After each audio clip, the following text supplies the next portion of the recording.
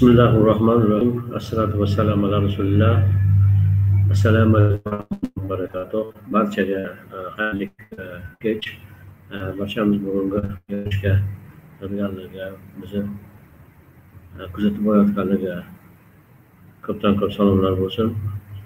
Hammangizni uyingizga, xonadoningizga barakot, ishingizga rivoj, qilayotgan biznesingizga yanada katta ko'lam va sizlarga ko'proq e, foyda mablag'lari kelishligini, manfaatlar bo'lishligini tilab istagan holatda keyingi suhbatimizni boshlaymiz. Demak, e, kelgan joydan davom etamiz. O'tgan safargi e, yig'ilishimizda biz telefonda suhbatlashish e, telefonda suhbatlashish odoblari haqida, etikasi haqida gaplashayotgan edik. O'shanga davom etgan holatda bugun mana hozirgi holatda turibmiz.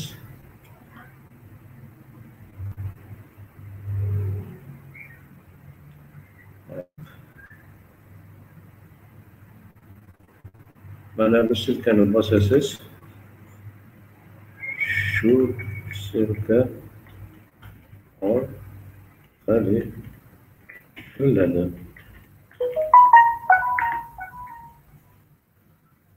Hop, bu demak silkamiz mehmonlar uchun birinchi silkani bosgan odam ro'yxatdan o'tishi kerak, ismi sharifini ko'rsatishi kerak. Bu mehmonlar uchun. Avval ro'yxatdan o'tgan, pochtasiga xat kelganda birinchi silka orqali kiradi. Mana dasturoy kod degan joydan e, registratsiya registratsiyadan o'tmasdan kirish imkoniyati bor. Ho'p, mm, savollarimiz quyidagicha. Demak, suhbatlashga ochiq savollar. Siz bergan savollarga javoblar sizga barcha ma'lumotlarni beradi. Bu tabiiy suhbatni davom ettirishga ruhlantiradi. Masalan, siz bu haqda nima deb o'ylaysiz? degan savolni berasiz. Bu suhbatdoshingizga bergan savolingiz albatta mm, ochiq savol bo'ladi. Ha, u esa e, sizdan siz bilan bizni kelajakdagi e, demak e, savoldan kelib chiqqan javobga nisbatan bizda yana savolda qayta qo'shimcha savollar paydo bo'ladi. Bular hammasi ochiq savollar deb hisoblanadi chunki suhbatni davom ettirish uchun. Demak, bu siz nima deb o'ylaysiz degandan keyin odam o'z fikrini bildirgandan keyin siz unga javob, mantiqan siz unga javob berishingiz kerak. Uning javobiga nisbatan siz o'z fikringizni bildirishingiz kerak. Shuning uchun qachonki suhbat davom etadigan bo'lsa, e, bu berilgan savol natijasida e, suhbat davom etadigan bo'lsa, buni ochiq savollar deyiladi. Demak, telefon etikasidagi, telefonda suhbatlashganimizdagi bir kishiga ma'lumot yetkazgandagi holatimizdagi berilgan savollardan e, demak, mana shu ochiq savollar turkumi bizga juda qo'l keladigan savollar manbai bo'lib hisoblanadi. Va bu albatta kelajakda bizni tabiiyki bu suhbatimiz davom etishiga bizni telefon orqali muloqotimizni yana ham rivojlanishiga jonlanishiga bu albatta turtki beradigan savollardan hisoblanadi. Ochiq savollarni bir necha shakllari bor. Maqsad esa bitta muloqotni davom ettirish va qo'llab quvvatlash. Bundan tashqari siz bu haqida nima deb o'ylaysiz? Ahvolingiz qanday? Siz bu biznesga qandoq kelgansiz? Bu haqida qanaqa ma'lumotlarni berasiz? Kimdan eshitgansiz o'z fikringiz qanday? Siz transport e, tirbandlik holatlari yoki tasodifiy holatlar qanaqa? Bu savollar ko'plab ko'plab ochilib ketaveradi. Bu albatta bizni eng avvalo suhbatimizni davom ettirishlikka sabab bo'ladigan e, shunaqangi bir darslar bo'ladi. Keyingi slaydimiz.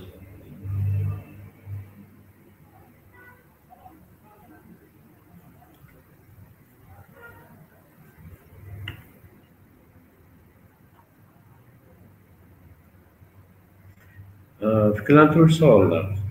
Bu turkum savollarimizga masalan bunday savollar mijozni siz bergan savollarga suhbatdoshingizni chuqurroq fikrlab javob berishga chaqiradi. Ya'ni shunaqangi siz suhbatdoshingizga savol bergan paytingizda fikrlantiruvchi savollar. Bu qanaqa? Masalan hozir yuqorida aytib o'tdik o'sha savollar turkumidan ham olish mumkin savollarimizni. Masalan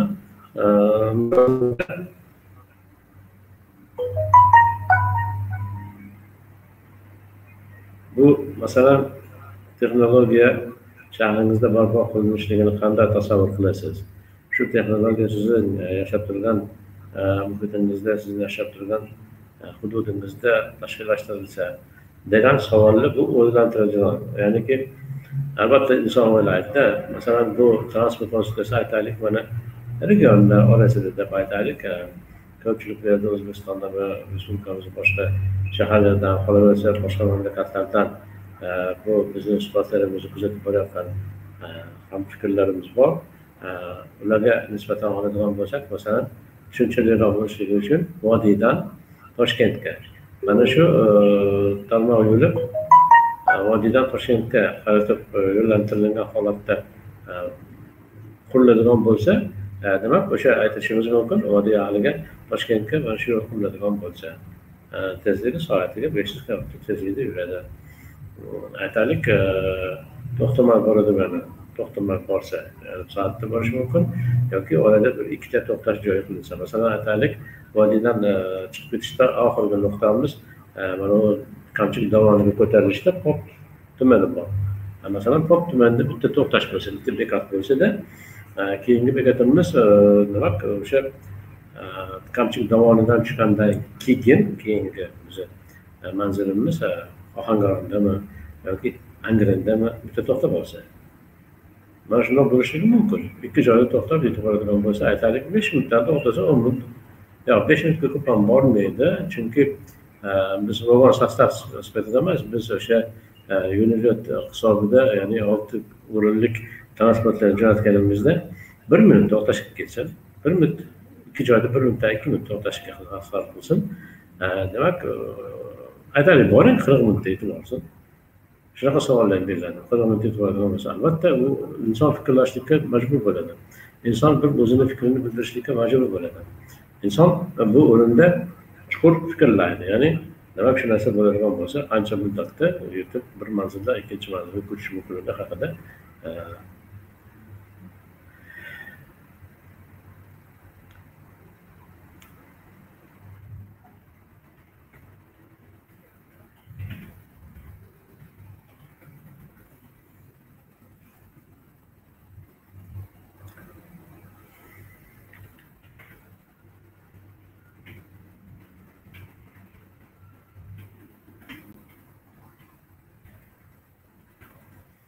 demak e, bizni telegram chatimizda e, biz vebinar xonamizga ko'rolmayotgan odamlar bor e, shuning uchun biz hozir to'xtalib o'tdik ularga telegramda javoblarni yozib o'tdik ikki kishi kirib chiqib ketib qoldi nimaga bunaqa bo'layotganligini men ham tushunmay qoldim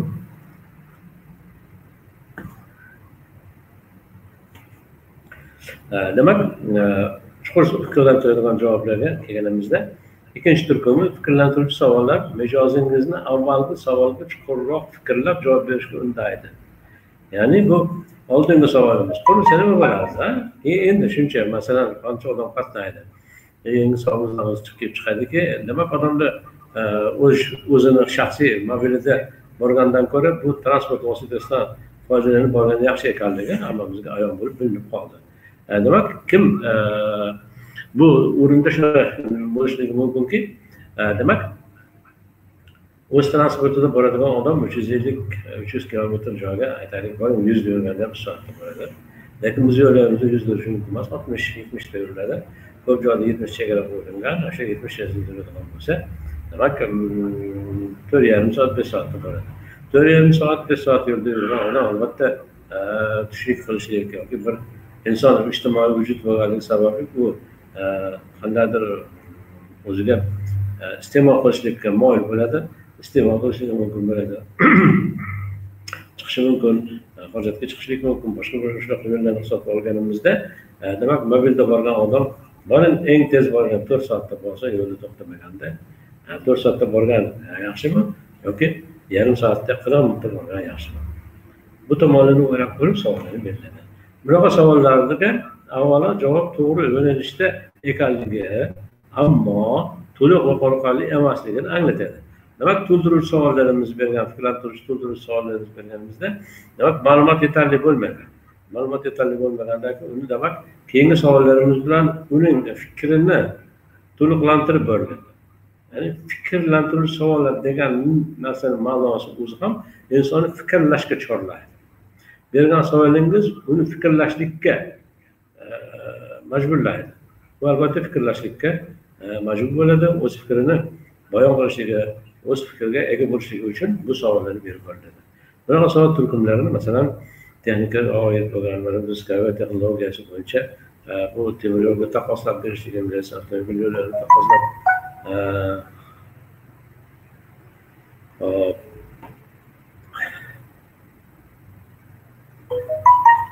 ism bilan pochtani yozib keriladi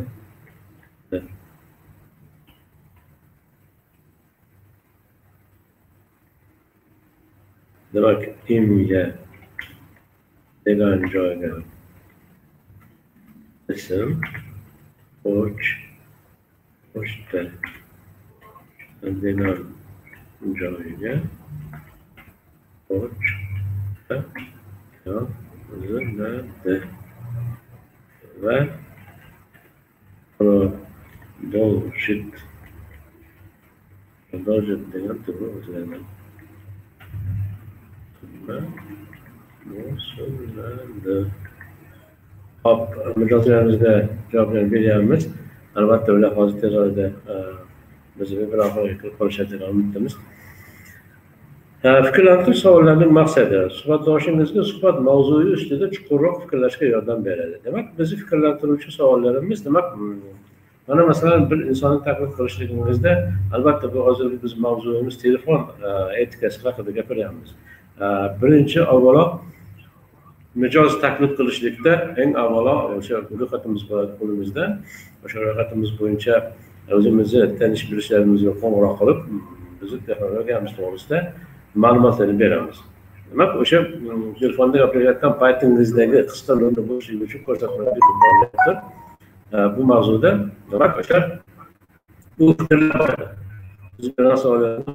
tushunib boradi va uni keyinchalik э, taklif qilishingiz mumkin bo'ladi. Э,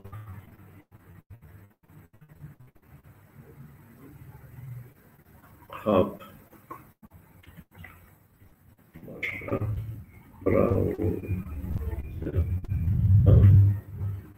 regularly.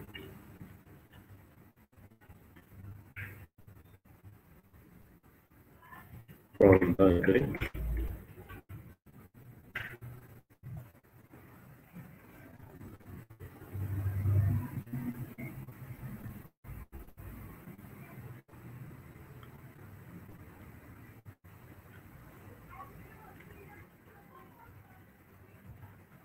boshqa bo'lganmi boshqacha bo'lgan ismni familiyamni atechkamni yozdim lekin noto'g'ri adres deb beryapti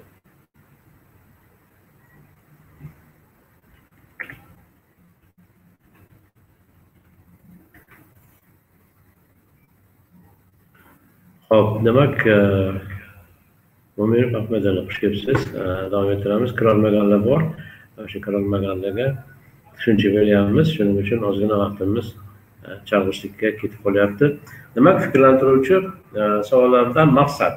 Suhbatdoshingizga ustida chuqurroq fikrlashga yordam beradi demak bu e, haqida berayotgan ma'lumotlarimizdan u albatta ko'rmasdan turib tasavvurga keltirishni boshlaydi. Bu o'sha bergan yuqorida kelgan ma'lumotlarimiz bo'yicha u o'zini fikrini fikrlash jarayonini rivojlantirib boradi. O'sha ko'z oldiga bu texnika texnologiyani keltirish boshladi.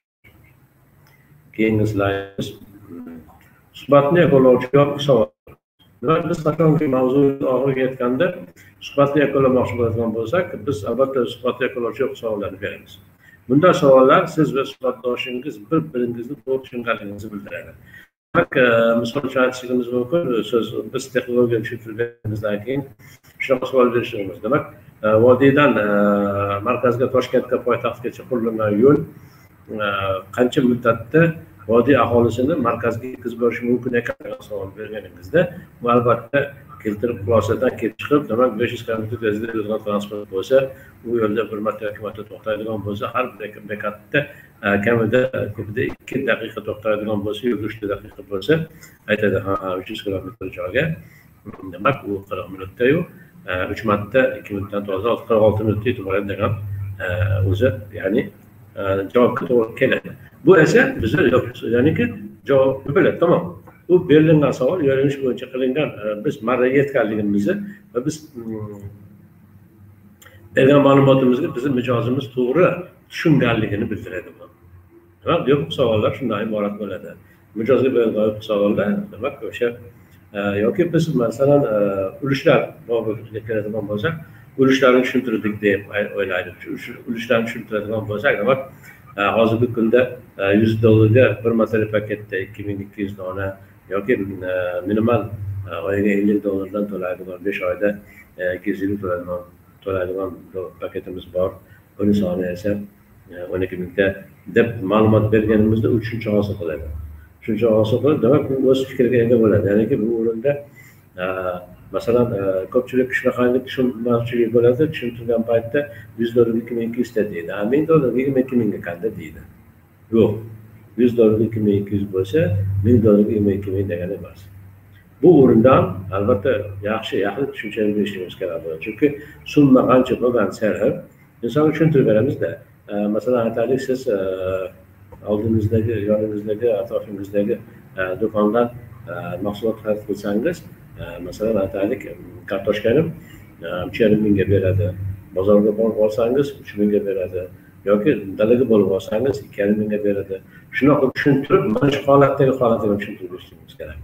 Qancha ko'p olinsa yoki ko'proq olinadigan bo'lsa bir kilo ikki kilo olgan odamga boshqa narx yuz kilo olgan odam odamga boshqa narx ming kilo olgan odamga boshqa narx tushuntirib bu yerda ham shunaqa ketishligini tushuntirib berishligimiz kerak bo'ladi demak e, yuz dollardan olgan odam ikki ming ikki yuzta oladigan bo'lsa ming dollardan olgan odam yigirma sakkiz mingta oladi chunki u ko'proq olganligi uchun unga e, ya'ni e, nima deb xalq tilida aytganda ulgurji olgan hisoblanadida.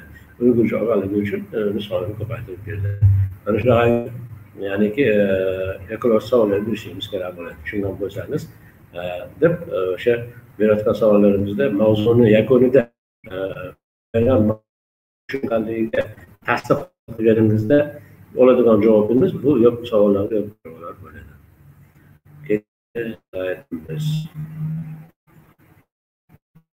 oldindan yo'q savollar siz men nima haqida so'rayotganimni tushundingizmi u suhbatimizni siz bilish uchun eshitmoqchi edim.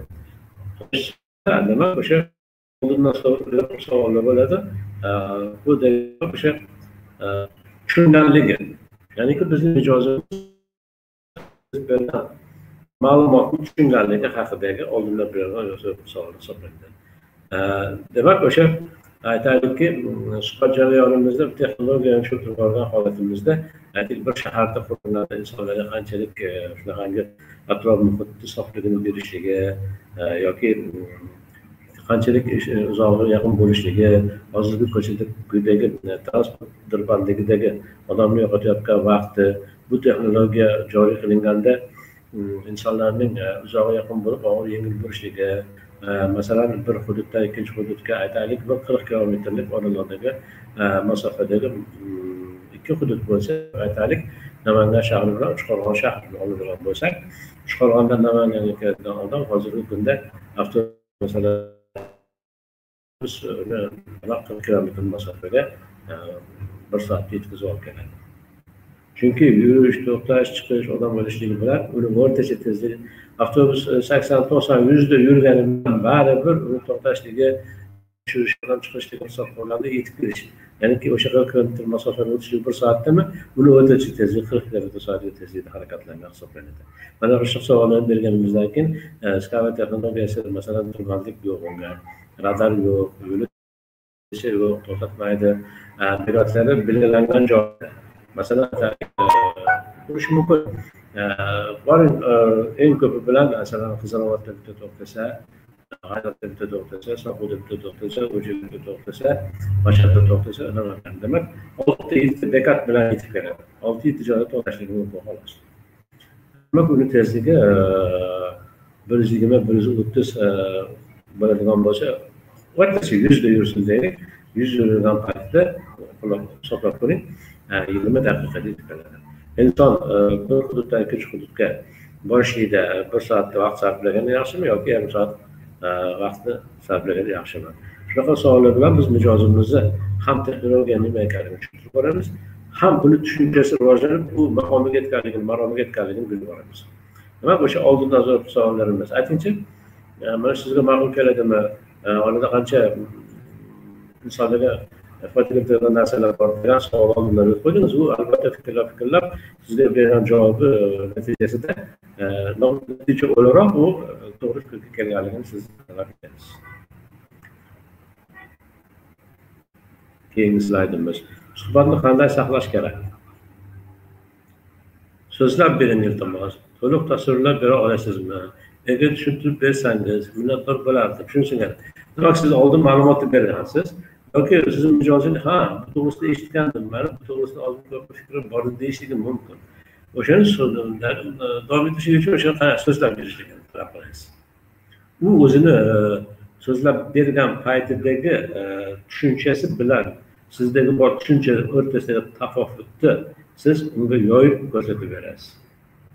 Suhbatni davom ettirishligi uchun saqlab qolishligi uchun shunaqangi e, muhit yaratasizki bu inson e, to'liq ma'lumotga egami yoki ega emasligini yuzaki eshitganmi yo to'liq eshitganmi siz to'liq ma'lumot berishingiz kerak bo'ladi buning uchun esa o'zingiz avvalo to'liq ma'lumotga ega bo'lishingiz kerak bo'ladi mana shu darslarimiz mana aytaylik bugungi darsimiz masalan elliginchi dars bo'ladigan bo'lsa erta darsimiz oldingi o'tgan darslarimiz hammasi chatlarimizda bor youtube kanallarimizda bor hammasini ma'lumotlarini sharhlab yuboryapmiz tushunmagan joylari bo'lsa savollarni yana berishingiz mumkin chatda berish mumkin bu yerda savol asosan dolzarb mavzu savollarni mana shu joyda xonamizda berish mumkin to'g'ridan to'g'ri mana pastda xonamizda o'ng tomonimizda pastki qismida mana hammaga salom deb yozib qo'yib o'shani tagida ya'ni smayli qo'yib qo'yilgan qilingan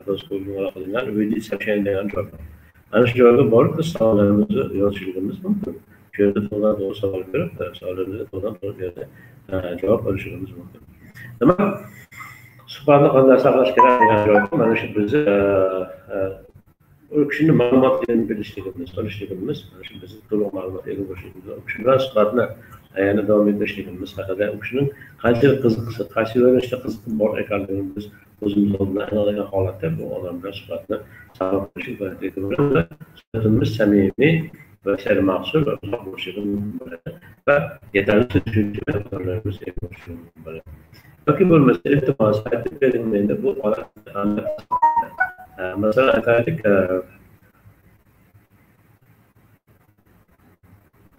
hop telegramda javob kelib savol kelib qoldi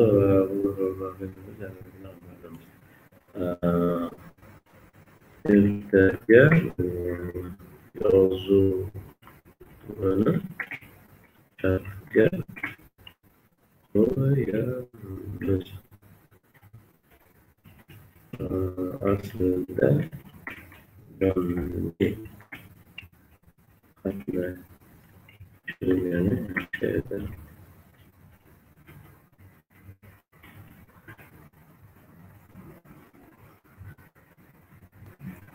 demak bir savollar bo'lyapti chatlarda kirolmayotgan mijozlarimiz ko'pchilik kirolmayapti bizni bu xonamiz ham yangi bu albatta yangi ko'rinishga yangi dizaynga ega bo'lgan xona bunday ancha o'zgarishlar bor undan tashqari buni o'ziga yarasha talablari bor hamma brauzerdan ham bo'lmaydi masalan brauzerdan nima degan savol berib qolishi mumkin brauzer deganimiz mana yandeks deymiz yoki aytaylik chrome deymiz yoki mozilla deymiz yoki explorer deymiz mana shu narsalarni demak biz brauzer deb ataymiz. Biza brauzerlarni ichida eng qulay eng yaxshisi chrome hisoblanadi. Demak yandeks ham chrome mahsuloti yandeks tezroq ishlaydi yana birmuncha tezroq ishlaydigan yo'nalish demak hozir yana savol beryaptilar qani qila olsak edi deb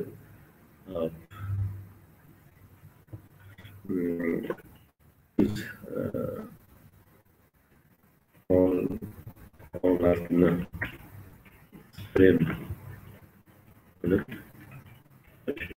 men ko'ray hop demak kirishga ishqiboz odamlarimiz juda ko'p lekin kirisholmayapti texnika texnologiyani tushirishimiz pastligi oldindan tayyorgarlik ko'rmasligimiz hafta davomida oy davomida kuniga beshta to'rttadan bizni vebinarlarimiz bor o'tkaziladi hozir o'n sakkizta tilda vebinar o'tkaziladi va har kunida beshta oltita vebinarlar bor kechgacha davomida shundan qaysidir biriga kirishga harakat qilib masalan juda qiynalgan odam go'zal ko'rib kelishligi uchun marhamat. Kimda qiyinchilik bo'lsa viloyat atrofida bizga yaqin joyda joylashgan odamlar bo'lsa bizni o'chmashdagi ofisimizga kelishsa biz tushuntirib beramiz. Yoki siz taklif qilgan sponsorlaringiz bor. Sponsorlaringiz ustida turgan liderlar bor liderlar ustida turgan masalalar bor. O'shalarga iltimos qilishlik kerak bo'ladi. Telefon bilan kirilayotgan bo'lsa telefonni olib borib mana bu qandoq qilinishini ko'rsatib bergin menga deb turib murojaat qilishlikka to'g'ri kerak bo'ladi demak iltimos aytib beringchi menga bu holat sizga qanday ta'sir qildi mana bu holat demak e, nima qilasiz? E, o'sha holat tarkib chiqdi. Xuddi transport muammosi. Ana shu o'rinda aytib o'tishligimiz kerak bo'ladiki bizni texnologiyamiz transport sohasida muammolarni hal qilib beradi transport degani o'zi muammoni hal qilishga kerak narsa lekin bugungi kunda bizni transport tizimimiz faqat muammo tug'diradi faqatgina muammo muammo muammo. E, nima desa bo'ladi chet elda ya'ni yevropa mamlakatlarida e, transport vositasini ya'ni harakatlanishlikka tezlashtirib beradigan vosita deb qoladi bizdagida esa rasikosh boylik deb oladi bilasizmi bir haligi transport ko'p ketganligi charchib parapatish minishligi e, qoidali harakat e, qismlarida e, harakat qilishligi e'tibor bermasligi bu hammasi aylanib kelib siz bilan bizni muammo keltirib chiqaradi. Chunki ko'chaga chiqing masalan o'nta moshina bo'lsa o'nta transport vositasi o'tirgan bo'lsa o'shani boshqaruvchisidan bitta o'ntadan bittasi shu haligi nima desa bo'ladi. Risoladagi transportda haqiqiy qoidasiga amal qilib boshqaradigan odam e, hurmat ehtirom iqtidori bor. Ya'ni biz nima deymiz? Ziyoli odam deymizmi? Ziyoli degan nima desa bo'ladi? Tartibli odam. O'nta haydovchidan bittasi tartibli kelib chiqadi hozirgi oladigan bo'lsangiz qolgan to'qqiztasi betartib odam.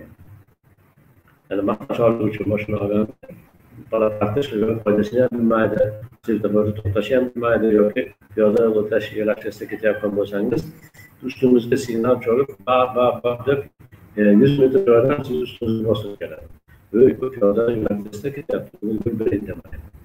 Demak mana shu asab tuzaldinglar mana shu holatlar barchasi yo'q bo'lib ketadi. Texnologiyasi rivojlanishi va mamlakatda shaharda qurilib ular harakatga kelishlikni boshlashlik davrida bu muammolar o'z o'zidan yechilib ketadi mana bu narsani tushuntirib berishimiz kerak bo'ladi sizni ishingizda motivatsiya nima deganini tasvirlab bera olasiz demak shunaqa savolni berasiz? Motivatsiya nima degan tasvirlab berish kerak motivatsiya nima? Inson qiziqtirishlik insonni bu rahbatini o'rgatishlik bu motivatsiya hisoblanadi. Buni qanday motivatsiya olishligini nimadan motivatsiya olishlikka bergan savolimiz bilan unga motivatsiya bo'ladigan berishlik bo'yicha texnologiyani o'sha shaxslar o'sha qismlarini ochib berasiz va yo'naltirib bu texnologiya bilan e, muhabbatni yanada kuchaytirib berasiz. Bu holatda qanday tushunganingizni tushuntirish tushuntirish tushuntirish iltimos o'sha bo'lgan holatda qarashlar vositasidagi bo'lgan holatda avtomobil yo'lakchalardagi bo'lgan holatda skava transportida bo'lgan holatni tushuntirib berdim. Endi u qanday tushunarli bundan tushuntirib kerak bo'ladi. Boshqa bir misol bilan misol bilan tushuntirib berishga kerak bo'ladi. Bu esa suhbatimiz yana qanday bu qiyinchiliklar qanday tushib qolganingizni men bilan iltimos masalan insonda bunday imkoniyati yo'q man pulim yo'q man bunga kira olmaymanmi ushlab bo'la olmayman urish ola olmaymanmi degan o'zi qiyinchiligini qanday hozir tushib qoldim desang tushuntirib olmaydi na bu ish qildim bu ish qildim dedi noto'g'ri ish qilganligi kelib chiqadi siz uni noto'g'ri yo'nalishda qilgani bu yo'nalishni olishlikda har bitta ishni ham o'ziga sensalado por uh, há 19 caras constitucionais.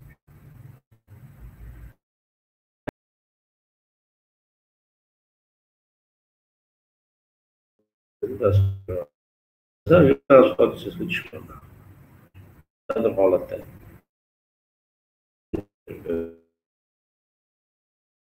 Muitos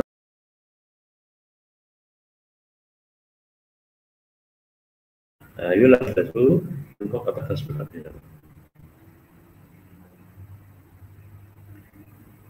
kalit nuqta diqqat bilan tinglang kalit سيس ya'ni eh, eh, diqqat bilan ya'niki siz eh, savolni berganingizdan keyin u سيس beryapsiz. Albatta mutaxassissiz siz ma'lumotga egasiz odam xato qilishi mumkin qandaydir noto'g'ri ma'lumotni ishlagan bo'lishi mumkin boshqa bo'lishi mumkin. U gap boshlaganda uni siz to'xtatmang. Siz eshiting diqqat bilan tinglang. Savol berish uchun samarali yo'l kaliti shunchaki suhbatlashib bu esa sizga keyingi savolga shakllantirish uchun beradi.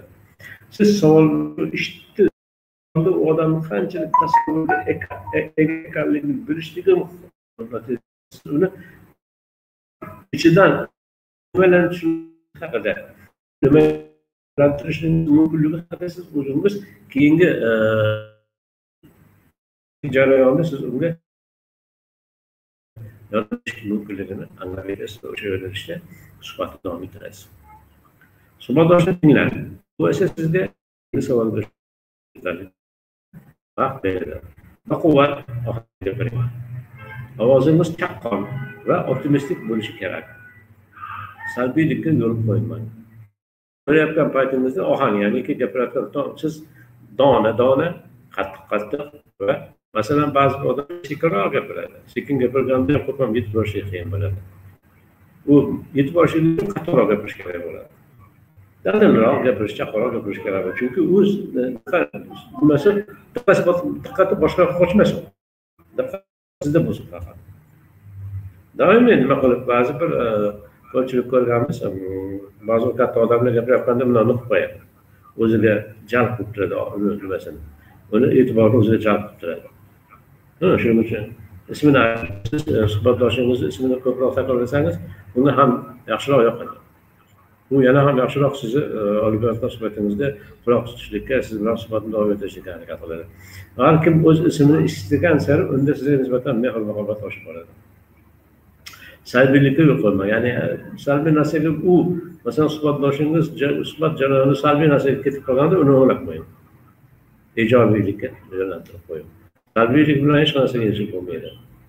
Albatta bu e, bo'lishlik inson ijobiy bo'lishligi butun kelasi kelasi e, kelasi hayotini ijobiy bo'lishiga olib keladi salbiy fikr yuritidan odamlardan iloji boricha doimiy salbiy fikrga ega bo'ladigan odamlar bilan suhbat qo'shishligingiz bu sizni kelajak samarangizni keltiradi ho'p kasbingizga mohir bo'ling. Suhbat matnini bir parcha qog'ozda qog'ozdan o'qimang. Bu nima degani?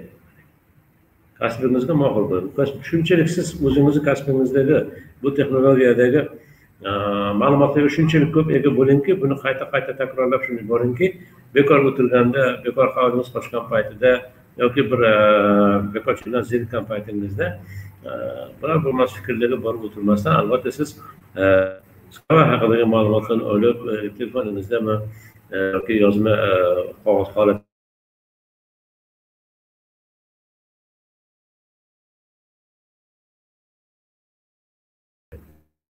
qanchalik siz o'z kasbingizga bog'liq bo'lsangiz shunchalik e, siz o'z kasbingizni tushuntirib bera oladigan qog'ozga o'qib bunaqangi qog'ozga qarab o'qib beradigan bo'lmaysizda.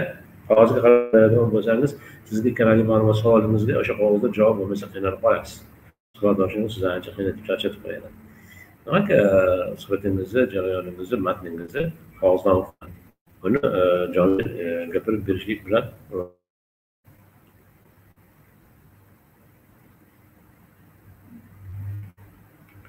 Hop, keyingi slaydimiz.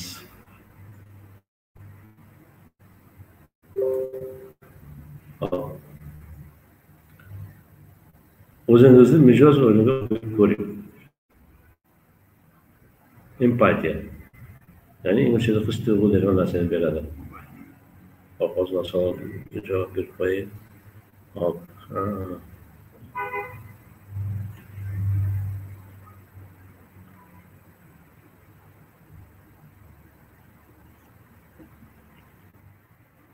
siz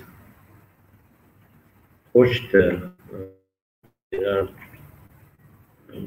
joyga pochta and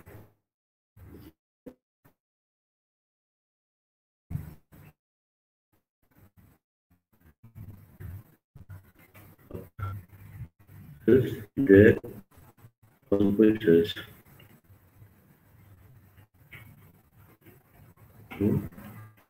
World my uh, masalam. Oh, masalam.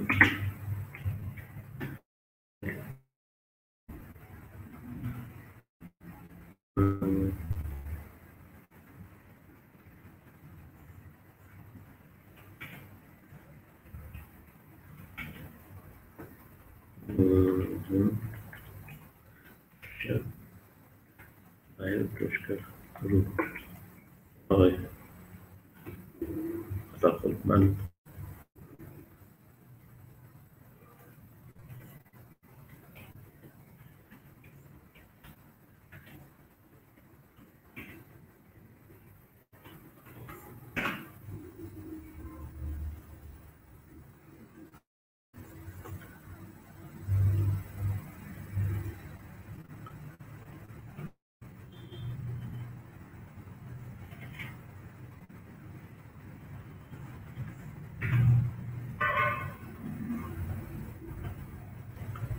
Nima hozir hozir hozir qoldik odamlar hatto pochtasini bilmaydi mana qarang. Ish ishtiyoqi bor. E, desa bo'ladi. Taklif qilingan paket xarid qilgan e, skavay a'zosi chatda bor. Pochtani bilmaydi. Uni registratsiya qilgan odam qarang kim registratsiya qilgan bo'lsa hamda uni shu tushuntirib bermaganda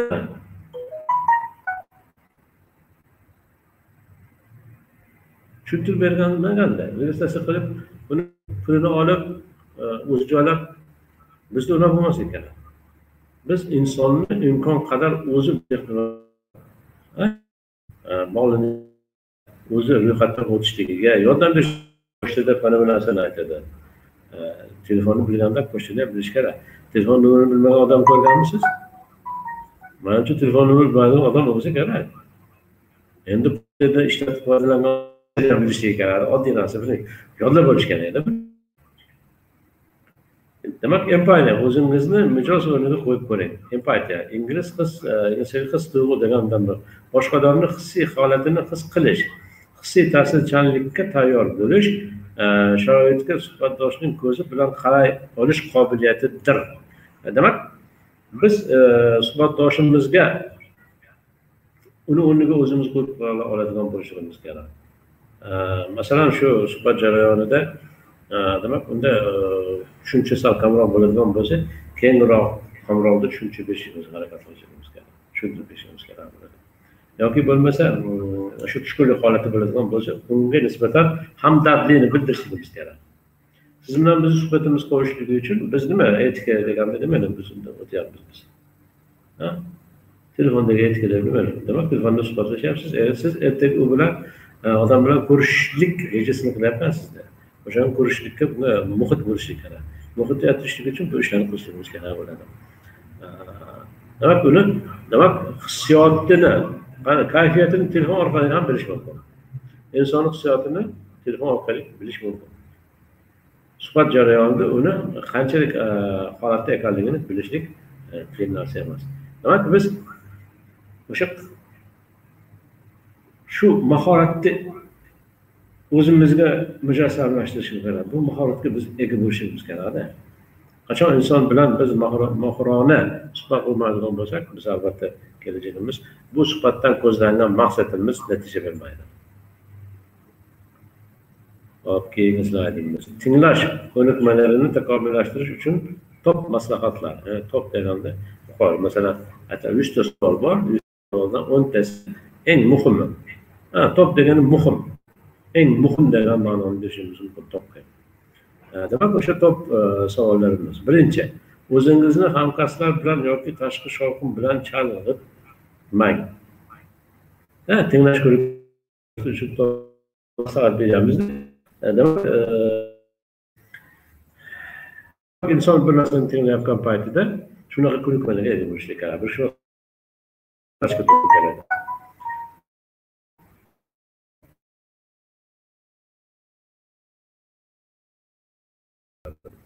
o'zingizni hamkasblar bilan yoki tashqi shovqin bilan chalg'itmang yana suhbat jarayonida siz e, bir kishi bilan so'rashib turgan paytingizda hamkasbingiz sizga murojaat qilsa javob bermang. U bilan e, buni qo'yib u bilan suhbatlashib ketmang. Birovdan suhbatlashyapman bir daqiqa sabr qiling va o'n daqiqa yo yigirma daqiqa sabr qiling telefonda gaplashyapsiz. Deb qo'ysangiz bo'ladigan narsa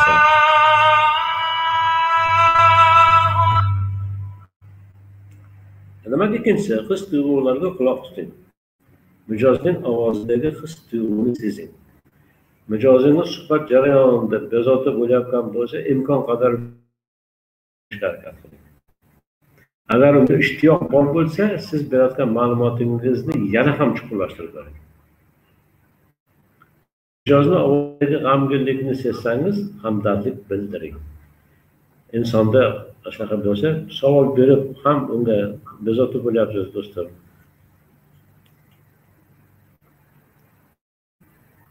sizni bezovta qilyapti. Nima qiyinchiligingiz bor? Deb e, shunaqangi unga dalda bo'lib hamdardlik bildirishimiz kerak. Unda biron bir fojia bo'lgan bo'lsa albatta hozirgi holatda.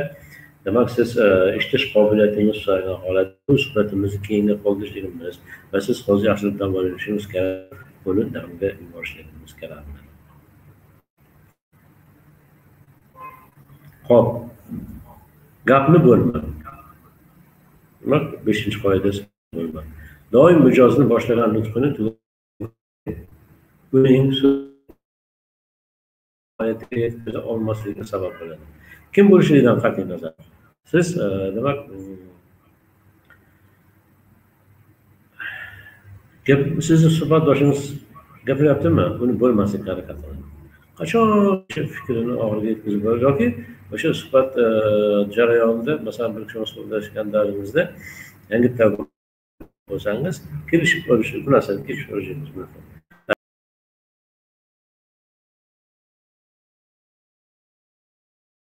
Qachon siz niyatingizni nimangizni ya'ni e, o'z fikringizni mulohazangizni oxiriga yetkazganingizda yetkazib qo'yganingizni aytib qo'ying men siz bilan suhbatni davom ettirishlik uchun tayyor bo'lishlik uchun sizga savol berishligim yoki sizga bir narsani tushuntirishligim uchun tayyorlik ko'rishim uchun menga imkoniyat bering deb ogohlantirib qo'ying men odatda shundoq yoki men gapirayotganda meni gapim bo'lmay turing siz gapirayotganda men sizni gapingiz bo'lmay turaman oldindan kelishim ham mumkin bu narsani bu esa siz suhbatlaringizni maroqli bo'lishligiga sermahsul bo'lishligiga u odam gapirgan gapni siz tushunishligingizga siz gapirgan gapni u tushunishligiga imkoniyat yaratilgan bo'ladi mana shunaqa holatlarda bo'lishi kerak demak bizda hozir o'n to'rtta slayd qoldi o'n to'rtta slayd o'qidik demak vaqtimiz yaxshi lekin